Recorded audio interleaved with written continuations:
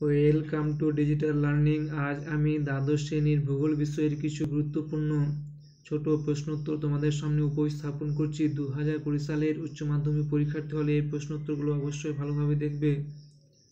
প্রশ্নোত্তরগুলো হচ্ছে পঞ্চম অধ্যায়ের অন্তর্গত বায়ুমণ্ডল থেকে। প্রথম প্রশ্ন ইংরেজি সাইক্লোন শব্দটি গ্রিক শব্দ কাকলোস বা কাকলোমা থেকে এসেছে, যার অর্থ হলো বৃত্তাকার বৃত্তাকারে ঘোরা বা সাপের কুণ্ডলীর মতো বেষ্টন করা। দুই নম্বর প্রশ্ন, সাইক্লোন শব্দটির প্রথম কে ব্যবহার করেন? আনসার হবে ইংরেজ আবহাওয়াবিদ হেনরি পিডিংটন আঠেরোশো আটচল্লিশ সালে। তিন নম্বর প্রশ্ন ঘূর্ণবাতের কেন্দ্রে অবস্থান করে আনসার হচ্ছে নিম্নচাপ। চার নম্বর প্রশ্ন, যে ধরনের উষ্ণ সমুদ্রপৃষ্ঠের তাপমাত্রা, তাপমাত্রায় ক্রান্তীয় ঘূর্ণবাত সৃষ্টি হয় তা হলো প্রায় ছাব্বিশ থেকে সাতাশ ডিগ্রি সেলসিয়াস তাপমাত্রায়। পাঁচ নম্বর প্রশ্ন ঘূর্ণবাতের বায়ু উত্তর ভারতে কোন দিকে বাঁক নিয়ে নিম্নচাপ কেন্দ্রে প্রবেশ করে? ঘড়ি কাঁটার বিপরীত দিকে বা বামাবার্তে? ছয় নম্বর প্রশ্ন ঘূর্ণবাতের বায়ু দক্ষিণ ভারতে কোন দিকে বাঁক নিয়ে নিম্নচাপ কেন্দ্রে প্রবেশ করে? অর্থাৎ উত্তর ভারতের ঠিক বিপরীত, অর্থাৎ ঘড়ি কাঁটার দিকে, অর্থাৎ বা দক্ষিণে ভারতে বা ডানা ভারতে। সাত নম্বর প্রশ্ন ঘূর্ণবাত বলতে কী বুঝো? শক্তিশালী নিম্নচাপকে কেন্দ্র করে দ্রুত গতিসম্পন্ন কেন্দ্র অভিমুখী ঊর্ধ্বগামী আবর্তনশীল বায়ুকে ঘূর্ণবাদ বলে। আট নম্বর প্রশ্ন, ঘূর্ণবাতের সমচাপ রেখাগুলি কীভাবে অবস্থান করে? সমচাপ রেখাগুলি খুব কাছাকাছি বৃত্তাকারে বা উপবৃত্তাকারে অবস্থান করে। নয় নম্বর প্রশ্ন, বায়ুমণ্ডলীয় গলযোগের উদাহরণ দাও। ঘূর্ণবাত ও প্রতিঘূর্ণবাত দশ নম্বর প্রশ্ন, ঘূর্ণবাত কোথা থেকে শক্তি সংগ্রহ করে? জলীয়বাষ্প ও তার ভিতরে লীন তাপ থেকে? এগারো নম্বর প্রশ্ন, ঘূর্ণবাতের গবাক্ষ বলতে কী বোঝো? ক্রান্তীয় ঘূর্ণবাতের কেন্দ্রস্থলকে ঘূর্ণবাতের গবাক্ষ বলা হয়। বারো নম্বর প্রশ্ন টর্নেডোর কেন্দ্রের আকৃতি কীরূপ হয়? হাতির সুরের মতো। তেরো নম্বর প্রশ্ন সীমান্ত কাকে বলে? দুটি ভিন্নধর্মী বায়ুপুঞ্জ যে সীমানায় মিলিত হয়, তাকে সীমান্ত বলে। চোদ্দ নম্বর প্রশ্ন উৎস সীমান্ত বা ফ্রন্টোজেনেসিস বলতে কী বোঝো? ঘূর্ণবাতের কেন্দ্রে যেখানে দুটি অসমধর্মী বায়ুপুঞ্জ মিলিত হয়, মিলিত হয়ে সীমান্ত সৃষ্টি করে, তাকে উৎস সীমান্ত বলে। পনেরো প্রশ্ন বিশ্লিষ্ট সীমান্ত বা ফ্রন্টোলাইসিস বলতে কী বোঝো? পরস্পরের বিপরীত দিকে প্রবাহিত বায়ু দ্বারা সীমান্ত ধ্বংস হলে তাকে বিশ্লিষ্ট সীমান্ত বা ফ্রন্টোলাইসিস বলে। ষোলো নম্বর প্রশ্ন, শীতল সীমান্ত বরাবর যে ধরনের বায়ুপুঞ্জ সক্রিয় থাকে তা হলো শীতল বায়ুপুঞ্জ এবং উষ্ণ সীমান্ত বরাবর যে ধরনের বায়ুপুঞ্জ সক্রিয় থাকে তা হবে উষ্ণ বায়ুপুঞ্জ। সতেরো নম্বর প্রশ্ন, ক্রান্তীয় ঘূর্ণবাতের উৎপত্তি স্থল কোথায়? না প্রায় পাঁচ থেকে ত্রিশ ডিগ্রি উত্তর ও দক্ষিণ অক্ষাংশের মধ্যে সমুদ্র জলে ওপর। আঠারো নম্বর প্রশ্ন ঘূর্ণবাদের কেন্দ্রে যেখানে মেঘ ঝড়হীন শান্ত সুস্থ আবহাওয়া বিরাজ করে তাকে কি বলে? আনসার হবে ঘূর্ণবাতের চক্ষু বলে। উনিশ নম্বর প্রশ্ন, ইংরেজি টর্নেডো শব্দটি কোন স্পেনীয় শব্দ থেকে নেওয়া হয়েছে? আনসার হচ্ছে ট্রোনাডা কুড়ি নম্বর প্রশ্ন কুড়ি নম্বর প্রশ্ন টর্নাডো এর বাংলা প্রতিশব্দ হলো আনসার হচ্ছে বজ্রঝঞ্ঝা। একুশ নম্বর প্রশ্ন, টর্নেডো মার্কিন যুক্তরাষ্ট্রে কী নামে পরিচিত? আনসার হচ্ছে টুইস্টার।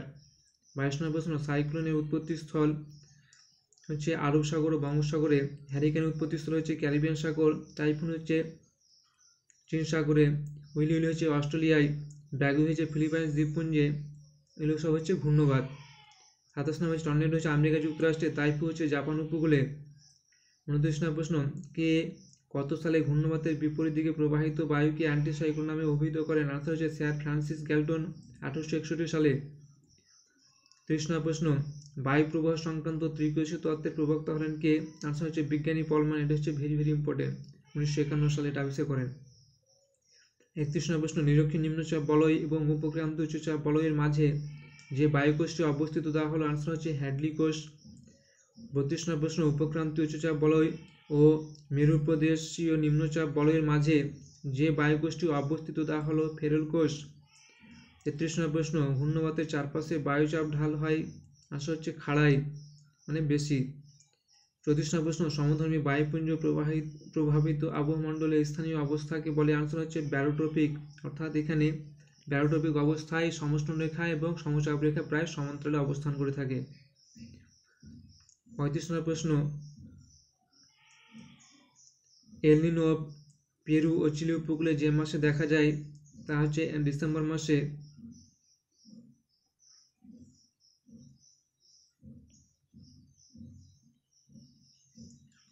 ছত্রিশ নম্বর প্রশ্ন, যে আবহমণ্ডলীয় অবস্থা বা প্রবাহের সঙ্গে সূচক চক্র বা ইন্ডেক্স সাইকেল যুক্ত, তা হলো আনসার হচ্ছে জেট বায়ু প্রবাহ।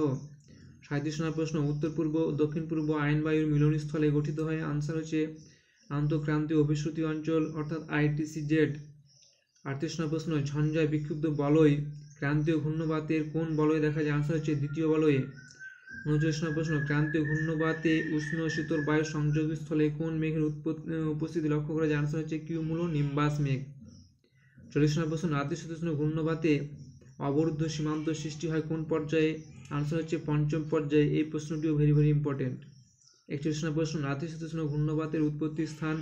আনসার হচ্ছে সমুদ্র, স্থলভাগ উভয় স্থানের উপর। বিয়াল্লিশ নম্বর প্রশ্ন ঘূর্ণবাতের চক্ষুর ব্যাস কত? প্রায় দশ থেকে কুড়ি কিমি। তেতাল্লিশ নম্বর প্রশ্ন, নাতিশীতোষ্ণ ঘূর্ণবাত সৃষ্টির আদর্শ সময় হলো শীতকাল। এটাও ভেরি ভেরি ইম্পর্টেন্ট তারপরে প্রশ্ন, কানাডা ও সাইবেরিয়ার উত্তরাংশে কোন ধরনের ঘূর্ণবাদ পরিলক্ষিত হয়? আনসার হচ্ছে প্রতি ঘূর্ণবাদ ত্রিকোষ মডেলের সর্বশেষ কোষ কোনটি? আনসার হচ্ছে মেরুকোষ। সাউদার্ন অসিলেশন বলা হয় ওয়াকার সার্কুলেশনকে সাতচল্লিশ নম্বর প্রশ্ন, কোন জেট স্ট্রিম ফেরুর কোষ ও মেরুকোষকে পৃথক করতে সক্ষম? মেরুদেশীয় জেট স্ট্রিম আটচল্লিশ নম্বর প্রশ্ন, এল নিল শব্দের ইংলিশ, ইংরেজি অর্থ হলো খ্রিস্টাইল আটচল্লিশ নম্বর প্রশ্ন সরি উনপঞ্চাশ নম্বর প্রশ্ন হবে এটা। ডাক নাম্বারটা মিস্টেক হয়েছে। দক্ষিণ আমেরিকার পেরু সংলগ্ন এলাকার খরা পরিস্থিতি সৃষ্টি হয়। লানিনোর প্রভাবে। উষ্ণ বায়ুর বায়ুরাশির পশ্চাতে যেখানে শীতল বায়ু, সেই উষ্ণ বায়ুকে আঘাত করে ঠেলে দেয়। সেই সীমান্তকে বলা হয় শীতল সীমান্ত। পঞ্চাশ নম্বর প্রশ্ন। উষ্ণ শীতল সীমান্ত বা বায়ু প্রাচীর সৃষ্টি হয় নাতিশীতোষ্ণ বা অতিক্রান্তীয় বা মধ্য অক্ষাংশীয় ঘূর্ণবাতে। সবগুলো কিন্তু একই কথা। তারপরে প্রশ্ন, নাতিশীতোষ্ণ বা অতিক্রান্তীয় ঘূর্ণবাতের উৎপত্তি বিষয়ে প্রথম আলোকপাত করেন আনসার হচ্ছে ফিত জরই এল নিনো হলো অস্থির উষ্ণ সমুদ্র স্রোত, যেটা প্রশান্ত মহাসাগরে দেখা যায়। তারপরে প্রশ্ন, নিম্নচাপ কেন্দ্রে যেখানে প্রথম ঘূর্ণবাত শুরু হয়, তখন তাকে বলে সাইক্লোজেনেসিস। উষ্ণ বায়ুপুঞ্জ, শীতল বায়ুপুঞ্জ যে সীমান্ত বরাবর স্থানচ্যুত করে, সেই সীমান্তকে বলে সাম্য সীমান্ত। টর্নেডোর প্রকৃতি বা বৈশিষ্ট্য হল ক্ষণস্থায়ী বা বিধ্বংসী। নাতিশীতোষ্ণ ঘূর্ণবাত সৃষ্টি হয় পঁয়ত্রিশ থেকে পঁয়ষট্টি ডিগ্রি উত্তর ও দক্ষিণ অক্ষাংশের মধ্যে নাতিশীতোষ্ণ মণ্ডলে। নাতিশীতোষ্ণ ঘূর্ণবাতের সমচাপ রেখাগুলোর আকৃতি হয় ভি আকৃতির নেই দুটি বিপরীতধর্মী বায়ুপুঞ্জের মিলনে সৃষ্টি হয় সীমান্ত বা ফ্রন্ট। নিম্নগামী ও বহির্মুখী বায়ুপ্রবাহ দেখা যায় প্রতি ঘূর্ণবাতে হ্যারিকেনের উৎপত্তি হয় প্রধানত অক্টোবর নভেম্বর মাসে। ক্রান্তীয় ঘূর্ণবাতের অধিক তীব্রতার পর্যায়টি হল পরিণত পর্যায়। সীমান্ত সৃষ্টির সামগ্রিক প্রক্রিয়াকে বলে ফ্রন্টোজেনেসিস। নাতিশীতোষ্ণ ঘূর্ণবাত সম্পর্কিত মেরু সীমান্ত তত্ত্বের অন্যতম প্রবর্তক হলেন ভি. বার্কনেস। প্রতি ঘূর্ণবাত সৃষ্টি হয় হিমমণ্ডল ও নাতিশীতোষ্ণ মণ্ডলে। প্রতি ঘূর্ণবাতের কেন্দ্রে বায়ুচাপ থাকে উচ্চচাপ। ক্রান্তীয় ঘূর্ণবাতের অপর নাম কি? উষ্ণমণ্ডলীয় ঘূর্ণবাত ক্রান্তীয় ডিপ্রেশন কি? ক্রান্তীয় অঞ্চলে দুর্বল ঘূর্ণিঝড়কে ক্রান্তীয় ডিপ্রেশন বলে। নাতিশীতোষ্ণ ঘূর্ণবাতের অপর নাম কি? তরঙ্গ ঘূর্ণবাত। নাতিশীতোষ্ণ ঘূর্ণবাত সৃষ্টিতে কোন কোষ গুরুত্বপূর্ণ ভূমিকা পালন করে? ফেরেল কোষ। তারপরে প্রশ্ন, মধ্য অক্ষাংশে নাতিশীতোষ্ণ ঘূর্ণবাতের প্রবাহ পথের ডান দিকে একটি রেখা বরাবর অসংখ্য বজ্রঝঞ্ঝা কক্ষের সৃষ্টি হয়ে থাকে, তাকে কি বলে? Squall line.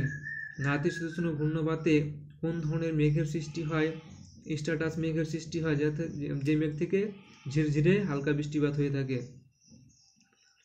পৃথিবীর কোথায় সর্বাধিক প্রতি ঘূর্ণবাদ ঘটে?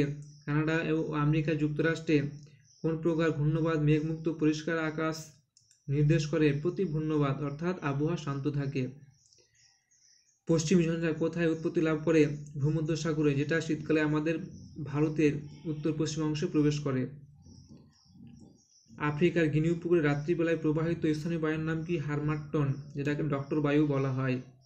খামসিন কি উত্তর আফ্রিকায় প্রবাহিত এক প্রকার উষ্ণ শুষ্ক স্থানীয় বায়ু হচ্ছে খামসিন যখন তরঙ্গগুলো বৃহৎ আকারে গড়ে ওঠে এবং তরঙ্গ অক্ষাংশ বিস্তার সুবিশাল হয়, সেই অবস্থাকে বলে লো জোনাল ইন্ডেক্স।